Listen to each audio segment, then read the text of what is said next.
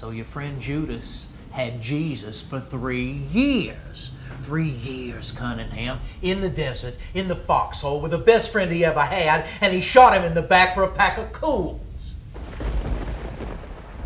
Now, your little petition is invalid. Your motion denied. Next case. Your Honor, this petition is signed by God. Hmm. Yes, but it ain't signed by your client now, is it? My client is catatonic. He's incapable of signing. Your Honor, the only person who needs forgiveness is the one who doesn't deserve it. Then let him ask. I'm asking for him. Oh, get out of my courtroom, woman. May God have mercy on your blasted, arrogant soul. Get back uptown. Quit your rabble rousing. Your Honor, are you a citizen of heaven? If we was in court, I'd have you removed.